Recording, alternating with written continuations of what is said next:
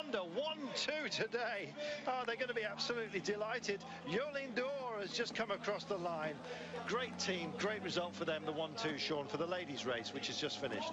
Well, to get a 1-2 in a uh, in a major classic uh, for the team, uh, what a performance, and uh, yeah, they will certainly uh, be uh, over the moon with that performance. Uh, Wiggle Honda, uh, they have been, uh, you know, they're knocking at the door. They haven't been winning the big ones. They've been winning a lot of races, but you know, to win a Tour of Flanders, you know, that is uh, one of the best races uh, of the season that you can win.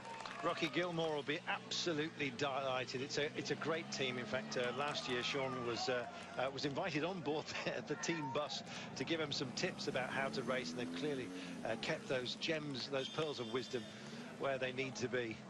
Uh, to the forefront of their minds. They've delivered a 1-2. Congratulations to them. Longo Borghini first ahead of uh, Jolien D'Hoore for Wiggle Honda women, winning the Women's Tour of Flanders today. Uh, congratulations to them. Back to the men's race then, 84.9 kilometres, 3 minutes and 17. And a little bit of conversation going on at the moment. There's been a bit of shooting the breeze. It's not been the most dramatic just yet. Um, mind you, I, am sure that uh, Jesse's